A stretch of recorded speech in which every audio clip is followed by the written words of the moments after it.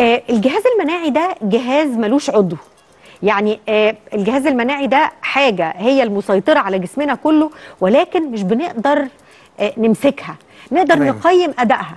آه عايزين نعرف من حضرتك إزاي؟ طيب هو فعلا كلام حضرتك مظبوط لأن الجهاز المناعي منتشر في الجسم كله. يعني مش مختص بجزء معين لا هو عبارة عن زي غدد بتبقى منتشرة في الجسم كله.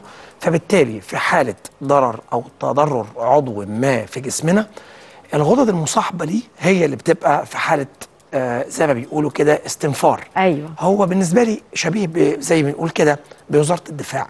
هي عبارة عن نقط تفتيش موجودة في كل مكان عشان يبقى في أمن وأمان في الجسم الجسم كله. كله. ممتاز.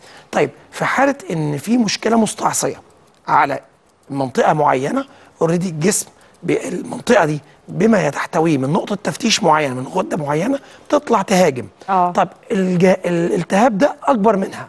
تستدعي الجهاز الأكبر. وهكذا لحد ما يبقى الجسم في حالة من حالات الحرب الشاملة لو كان المرض شديد. أيوه.